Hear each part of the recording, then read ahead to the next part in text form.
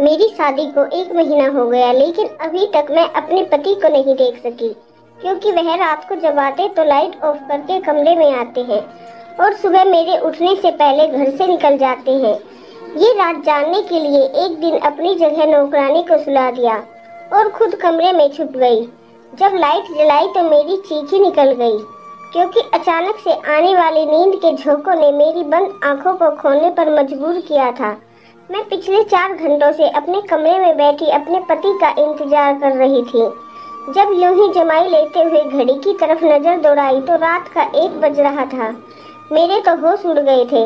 आज तो मेरी सुहागरात थी। मेरी पहली रात जिस रात पति पत्नी एक दूसरे से कई वादे करते हैं और उम्र भर साथ निभाने की कसमें खाते हैं, मैंने अभी तक अपने पति को नहीं देखा था। कुछ हमारे खानदान में रस्में रस्में भी थी। शादी से पहले लड़का और लड़की की फ़ोटो भी नहीं दिखाई जाती थी। बस छोटी बहन से सुना था कि मेरा दूल्हा बड़ा ही प्यारा है। खुद ही दिल में सपने बुनने लगी थी। इस रात का इंतज़ार तो ना जाने मुझे कब से था और मुझे जब लाकर इस कमरे में बिठाया गया तो मैं बहुत डरी सहमी सी थी। मगर चार घंटे बैठने के बाद ना सिर्फ़ मेरी कमर दर्द कर रही थी, बल्कि जमाई लेकर मेरे सारे सपने और ख्वाहिश भी खत्म हो चुकी थी। एक बार तो सोचा कि उठ के बाहर जाकर देखूँ कि आखिर मेरा पति कहाँ है। मगर फिर बाहर जाना मुनासिब नहीं लगा। जब नींद में बहने लगी तो यूँ ही बैठे बैठे बेड के ग्राउंड से टेक लगाकर सो गई। अब और इंतज़ार करना मेरे लिए मुश्किल था कि तभी दरवाजे का लॉक खुलने की आवाज़ आई। मैं हड़बड़ाकर आँखें खोलकर देखने लगी, मगर कमरे में तो खूब अंधेरा फैल चुका था। मैंने सहम कर कहा कि कौन है? मगर पैरों के चप्पल की आवाज़ मुझे सुनाई नहीं दी। मैं सक पकाकर बोली कि, सुनिए जी, क्या आप हैं? ये कमरे में इतना अंधेरा क्यों कर दिया? क्या लाइट चली गई क्या? मैंने एक ही सांस में कई सवाल कर डाले थे। तभी गला खकार कर एक मर्दाना आवाज़ गूंजी, मैं हूँ आपका पति। इतना सुनना था कि मेरे दिल की धड़कन तेज हो गई। हालाँकि मैं जानती थी उस वक्त मेरे कमरे में मेरा पति ही आ सकता है। ऐसा लगता था जैसे पति की आवाज़ सुनकर मेरी सारी थकान वहीं दम तोड़ गई। अब मुझे शर्म आ रही थी, मगर एक बात की हैरानगी हुई थी कि आखिर मेरे पति ने कमरे में आते ही अंधेरा क्यों कर दिया था? मुझे यह बात थोड़ी अजीब लगी, मगर लाइट चली गई थी तो मोमबत्ती या टॉर्च ही कमरे में ले आते। मैं आँखें फाड़ फाड़ के देखने की कोशिश कर रही थी कि जब मुझे एक मर्दाना साया सा अपनी तरफ़ आते हुए नज़र आया, पति मेरे सामने आकर बैठा और कहने लगा कि माफ़ कीजिएगा। बाहर दोस्तों की गपशप लगाते हुए वक्त का पता ही नहीं चला। आप तो जानती हैं कि ऐसे मौकों पर दोस्त कहाँ छोड़ते हैं। आप काफ़ी थक गई होंगी। मुझे लगता है आपको सोना चाहिए। बाकी बातें हम कल करेंगे। मेरा पति तो बात करते हुए बहुत अटक अटक रहा था।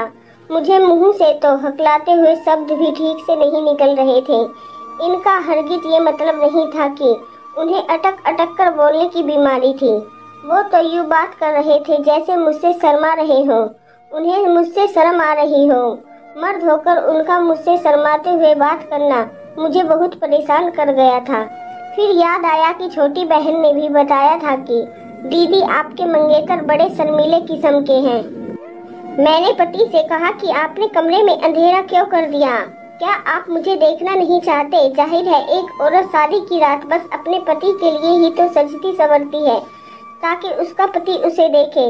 उसकी तारीफ़ करे। मेरी बात सुनकर पति कुछ देर खामोश रहा और फिर कहने लगा कि मैंने तो आपको जी भर कर देख लिया था, जब आपको मेरे पास लाकर बिठाया गया।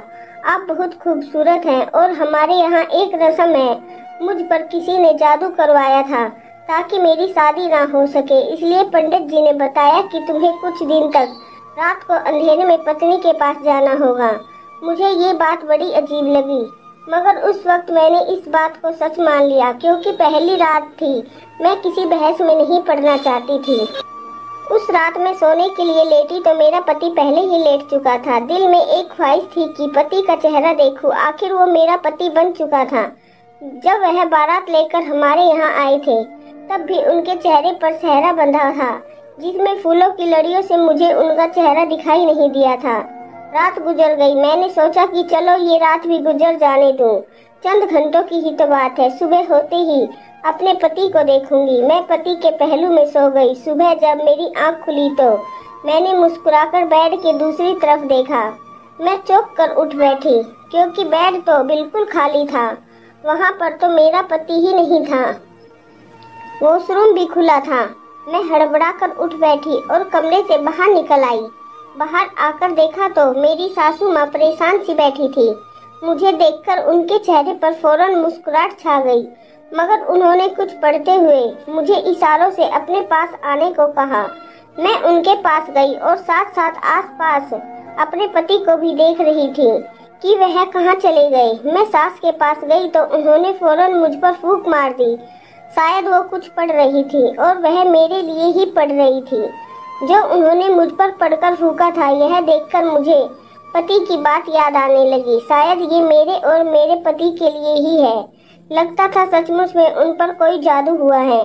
तभी तो सास भी मुझ पर कुछ पढ़कर फूक रही थी। मैंने उनके पास बैठते ही सवाल किया कि वो कहाँ है। मुझे तो कहीं कमरे में नज़र नहीं आए तो सासू दूसरी तरफ़ देखते हुए कहने लगी, बेटा, वो काम पर जा चुका है। मैंने घड़ी की तरफ़ देखा। तो सुबह के सात बजे थे और ऑफ़िस का वक्त नौ बजे से शुरू होता है। फिर सात बजे वह कैसे चले गए? सास मेरी नज़रों में देखकर सवाल समझ चुकी थी और कहने लगी कि, बेटा, उसके काम का कोई पता नहीं। वो अपने दोस्त के साथ मिलकर कारोबार करता है। और दिल जब चाहे तभी घर से चला जाता है। तुम नाश्ता कर लो, मुझे यह बात बड़ी अजीब लगी। मेरा दिल चाहा सास से पूछूँ, क्या पति की शादी मर्ज़ी से नहीं हुई थी? ना कि रात को उन्होंने मुझसे कोई बात की थी और ना ही वो चेहरा दिखाए। कैसे चले गए भला? कोई अपनी शादी के अगले दिन भी काम पर जाता है। मैं इसी सोच में गुम थी कि सामने वाले कमरे में एक लड़का निकला। मैंने उठकर देखा और जल्दी से अपना दुपट्टा सर पर ले लिया। मेरी सास मुस्कुराकर कहने लगी कि बेटी ये तुम्हारा देवर है। मैंने सरसरी सी नज़र दौड़ाकर उनको नमस्ते किया। तो वो आँखों से ही जवाब देकर वहाँ से बाहर चले गए और सारा दिन भी यूँ ही गुजर गया। मैंने नोट किया था कि मेरी साथ का, काफ़ी परेशान दिखाई दे रही है जबकि वो तो मिजाज की बहुत अच्छी औरत थी। हमारा रिश्ता होने के बाद वह कई बार हमारे घर पर आई थी। मैंने उनके चेहरे पर कभी उदासी नहीं देखी थी। थोड़ी देर में भी वह बहुत खुश मिजाज थी। मैं तो बहुत खुश थी कि चलो सास में और बहू में खूब जमेगी। मगर वो तो मुझसे बाद भी कोई ख्यालों में डूबी हुई करती थी। मैं जब बुलाती तो ख्यालों से निकलकर मेरी तरफ़ देखने लगती। इस घर में मेरे पति सास के अलावा एक मेरा देवर भी था। हम चार लोग ही यहाँ पर रहते थे। मैं शाम में अपने पति के आने की राह देख रही थी। बिल्कुल नई नवेली दुल्हन की तरह सज सवर कर बैठी हुई थी। मगर तभी दरवाजे पर दस्तक हुई। मैंने फ़ौरन मुस्कुराकर दरवाज़ा खोला तो सामने मेरा देवर सामू खड़ा था। वो मुझे यूँ खड़ा देखकर हड़बड़ाते हुए नज़रें चुरा लिया। मैंने भी उसे नमस्ते किया और वापस अंदर आ गई। बहुत रात हो चुकी थी। बार बार मेरी नज़रें घड़ी पर जा रही थी। ना जाने मेरा पति कहाँ रह गया। सास ने ज़बरदस्ती खाना भी खिला दिया। देवर भी वही खाना खा रहा था। मुझे महसूस हुआ कि जैसे वो मुझे चोरी चोरी देख रहा है। मैंने जब उसकी तरफ़ देखा तो वह बौखला कर नज़र ही बदल दिया और फिर आधा घंटा, आधा खाना छोड़कर घर से चला गया। मेरे दिमाग में बहुत ख्याल आ रहे थे। मैं यूँ ही बैठी सोच रही थी कि आखिर वजह क्या थी। दिल घबराने लगा तो बालकनी में खड़ी होकर रोने लगी। आँखों में आँसू बह रहे थे, शायद मैं उनको पसंद नहीं आई थी। वो मुझसे नफरत करते थे या फिर उनके दिल में कोई और था। मैं अभी यूँ ही खड़ी होकर रो रही थी कि तभी कमरे में खूब अंधेरा फैल गया। हल्की रोशनी बालकनी के पलप की थी, जिसे मैंने यूँ ही जलता छोड़ा और फिर कमरे में चली आई। सूरज दूसरी तरफ़ मुँह किए बैठे थे। मैं आज रात बात क्लियर करना चाहती थी कि इसलिए बिना कुछ कहे पति के पास जाकर बैठ गई। मेरा कंधा पति के कंधे के साथ लग गया। तो वह फ़ौरन मुझसे इतना दूर हुए कि उनका कंधा दोबारा मेरे कंधे से ना लग सके। मैं पति से हर बात क्लियर करना चाहती थी कि आखिर वो मेरे साथ ऐसा क्यों कर रहे हैं? मैंने एक बार फिर पति की तरफ़ देखा और डरते डरते पति का हाथ थाम लिया। मेरी हाथ महसूस करते ही फ़ौरन सूरज ने अपना हाथ छुड़वाया और उठ खड़े हुए। दूसरी तरफ़ मुँह मोड़कर कहने लगे कि, जो भी बात करनी है जल्दी करे। मैं बहुत थका हूँ, मुझे नींद आ रही है। पति की बातों ने मेरी आँखों में आँसू ले आया था। मैं बोली कि आप क्या किसी और को पसंद करते हैं? अगर कोई ऐसी बात है तो आपने मुझसे शादी क्यों की? पति फ़ौरन गला खगा कर बोले कि मैं किसी और को पसंद नहीं करता। बस मेरी एक मजबूरी है, ना ही मैं आपको अपना चेहरा दिखा सकता हूँ और ना ही मेरे पास वक्त है। जो आपके पास बैठकर मोहब्बत भरी बातें करूँ, मुझे भी गुस्सा आ रहा था। आखिर ये कौन सी मजबूरी थी कि मेरा पति मुझसे दूर भागे और मैं उसके पास आने की कोशिश करती रहूँ। उस दिन के बाद कई दिन यूँ ही गुजर गए और सारी रात में यूँ ही गहरी नींद सोती कि मेरी आँख फिर सुबह ही जाकर खुलती। सारा दिन पति घर से बाहर रहता था और दूसरी तरफ़ मुझे ना जाने क्यों ये महसूस होने लगा था कि जैसे कि किसी की नज़रों में हूँ। लेकिन जब मैं इधर उधर देखती तो कोई नज़र नहीं आता था। एक बार मैं शाम की चाय बनाकर अपनी सास के कमरे में जाने लगी तो उनकी आवाज़ सुनकर वहीं रुक गई। वो शायद किसी से फ़ोन पर बात कर रही थी। बार बार वो एक ही शब्द दोहरा रही थी। पता नहीं कौन था, लेकिन मेरी सास उनसे विनती कर रही थी। ना जाने मेरी सास को कौन सा ब्लैकमेल कर रहा था।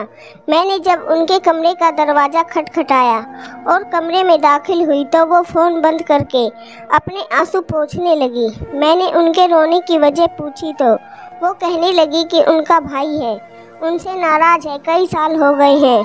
उन्हें उन्हें सीधे मुँह बात नहीं कर रहा और ना ही कभी उनसे मिलने आता। वो उनकी फ़ोन पर रो रो कर विनती करती है। मेरा दिल अपनी सास की बात सुनकर उदास हुआ था।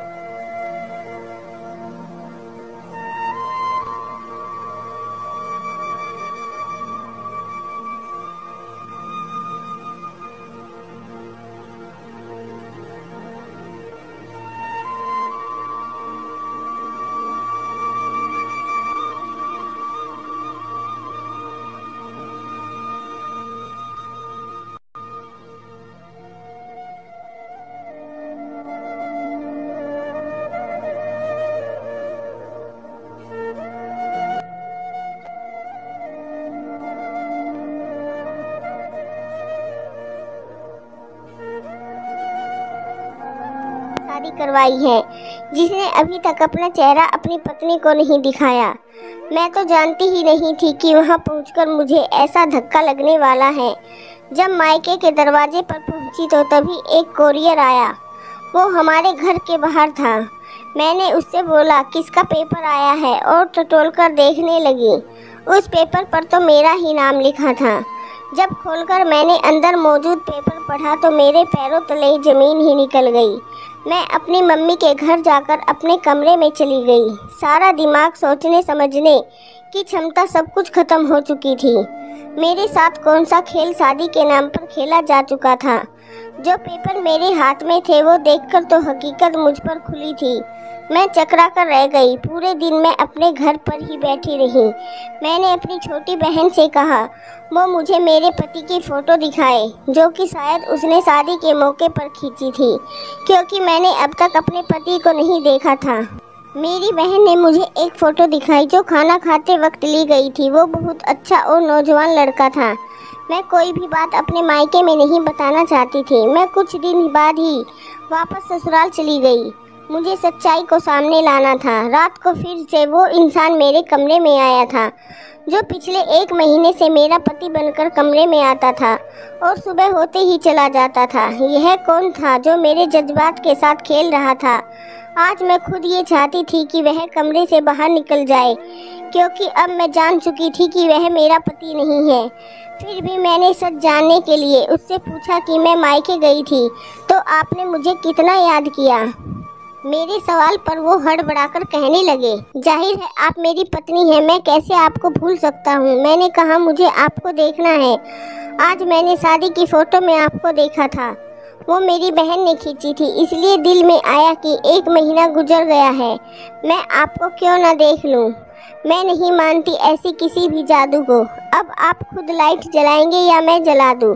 वो कहने लगे कि, मैं पहले भी आपसे कह चुका हूँ। कि मेरा इलाज चल रहा है और आप इस इलाज को सच मानती हैं या झूठ। लेकिन मैं ये इलाज करवाए बिना आपके सामने नहीं आऊँगा। अगर आप मुझे रोज़ यूँ ही तंग करेगी तो मैं आज के बाद आपके कमरे में भी नहीं आऊँगा। और ये कहकर वो कमरे से बाहर निकल गए मैं अगले दिन उनसे कुछ न बोली और फिर मेरे कमरे में सोने लगी। अगले, उसने सोते ही मैं सोफे पर जाकर सो जाती। मैं सोच रही थी कि किस रात उस इंसान का सच सबके सामने लाऊं। अगले दिन मैंने अपनी नौकरानी को यह कहकर घर पर रोक लिया कि मेरी तबीयत कुछ ठीक नहीं है। उसने भी कोई ऐतराज नहीं किया था। रात को मैंने नींद की दवा दूध में मिलाकर नौकरानी को दूध पिला दिया और उसके बाद उसे अपने बिस्तर पर सुलाकर खुद कमरे में छिप गई। और वहाँ छुपी जहाँ कमरे की लाइट के बटन लगे हुए थे। रात को काफ़ी देर बाद वो इंसान कमरे में आया और बेड की दूसरी तरफ़ बैठ गया कि मैंने फ़ौरन से लाइट जला दी। और मैंने जब उस इंसान को देखा तो मेरे होश उड़ गए। वो तो मेरा देवर था। तो क्या पिछले एक माह से मेरे कमरे में वही आ रहा था? वो मुझे हैरत से देख रहा था। मैंने कहा कि तुम्हें शर्म नहीं आई यूँ कमरे में आते हुए। उसने कोई जवाब नहीं दिया।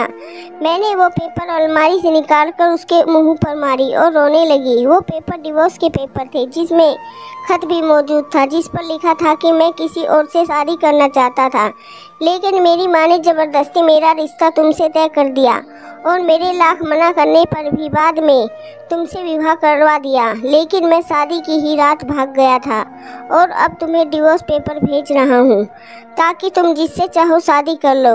उस वक्त मैं चकरा कर रह गई थी कि जब मेरा पति शादी की पहली रात भाग गया था तो कौन मेरे कमरे में आता है और मेरा देवर मुझे धोखा दे रहा था।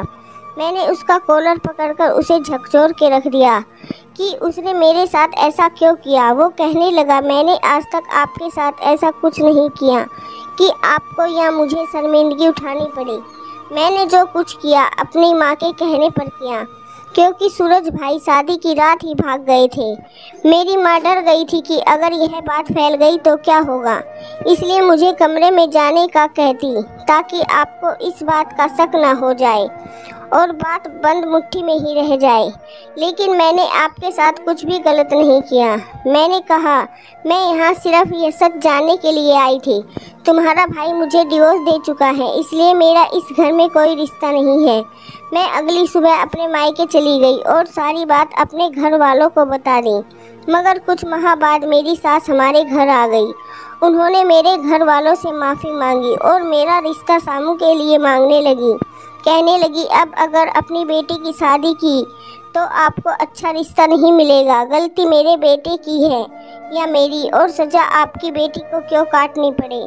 मैंने सूरज को बहुत विनती की कि वो वापस आ जाए, लेकिन वो नहीं आया। मेरे मम्मी पापा ने मेरा विवाह सामू से करवा दिया। सच ही कहते हैं कि एक औरत ही औरत का घर बर्बाद भी कर सकती है और आबाद भी।